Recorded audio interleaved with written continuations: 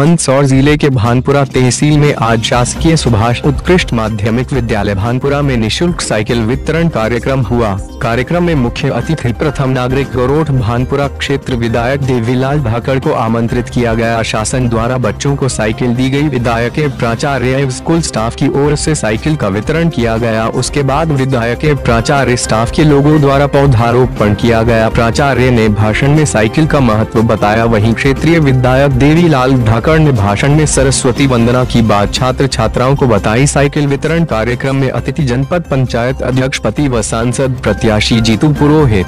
पत्रकार लाल चंद उद्रवाल हरिकृष्ण मर्म अशोक राठौर सत्यनारायण बैरागी उपस्थित रहे कार्यक्रम उद्बोधन व समापन शेख हरजी वधवा द्वारा किया गया भानपुरा से अशोक राठौर के साथ दीपक रुद्रवाल की रिपोर्ट